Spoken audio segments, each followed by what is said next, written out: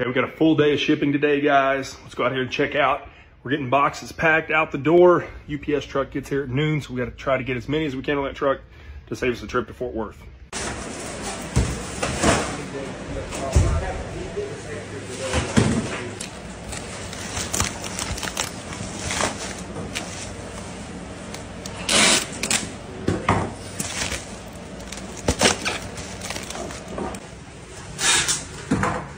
And wouldn't you know, I didn't even finish filming that video. So unfortunately, that is one of my bad habits is I got this grand idea.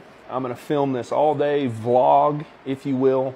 Follow us around, check us out, and then I get caught up in the actual work and I end up having to film a apology video like this so I can have something to put at the end of the video. So sorry about that. Sorry you didn't get to see us finish the uh, shipping process. I will do better next week. And that's why I'm in the process of looking for a videographer or something part time to just follow me around with the camera so, so that we don't miss moments like this that I know people really would enjoy seeing behind the scenes because I get too busy. So thank you for enjoying our video. And hopefully next week you get a full shipping experience video. I will do my best to make that happen.